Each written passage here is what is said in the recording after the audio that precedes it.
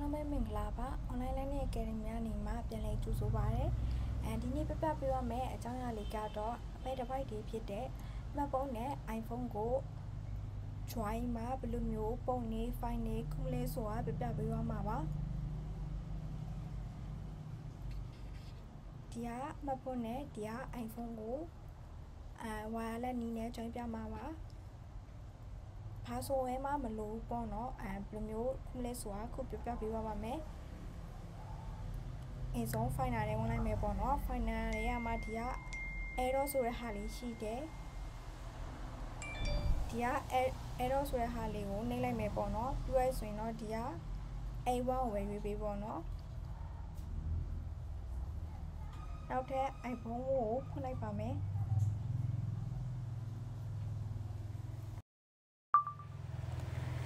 iPhone ကိုဖွင့်ပြီးပါဆိုရင်တော့ဒီမှာလည်းအတိုင်းပဲရွေးပေးပါမယ်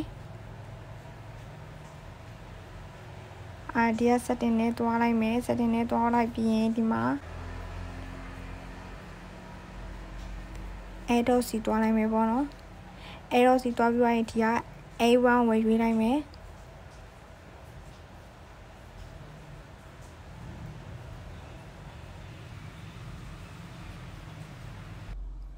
နောက်တော့ဒီအတပုံထပ်ပို့ကြည့်မယ်ပေါ့နော်ဒါကို margin နဲ့နှိပ်ပြီး share နှိပ်မယ် share နှိပ်ပြီးရင်ဒီက error ဆိုတဲ့ဟာကိုနှိပ်မယ်ပြီးရဆိုရင်ဒီအလုံးတွေကိုတစ်ခါထိနေလိုက်မယ်ပေါ့နော်ဒါဆိုရင်ပို့နေပြီအဲရောက်သွားချိန်ကျရင်ဒီက done ဆိုတဲ့ဟာလေးပြမယ်ပေါ့နော်ဒါဆိုရင်သွားချိန်ကျရင်ဒီက done ဆိုတဲ့ဟာလေးပြမယ်ပေါ့နော်ဒါဆိုရင်ရောက်သွားပြီပေါ့နော် ဒီဘက် iPhone မှာလည်းသူပို့လိုက်တဲ့ဟာလေးဝင်လာရပေါ့နော်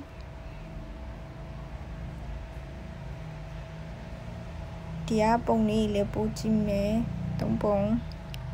share ကိုနှိပ်မယ်ပြီးရင်ဒီက MacBook Pro ဆိုရဲဟာကိုနှိပ်ပေးလိုက်မယ်ဒီမှာဆိုရင်သူပို့နေပေါ့နော်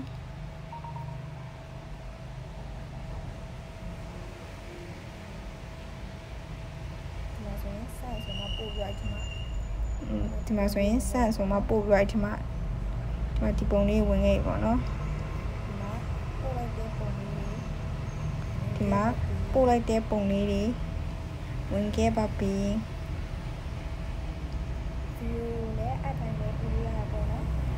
ဗီဒီယိုတွေကိုလည်းအတိုင်းပဲပို့လို့ရတယ်ပေါ့နော်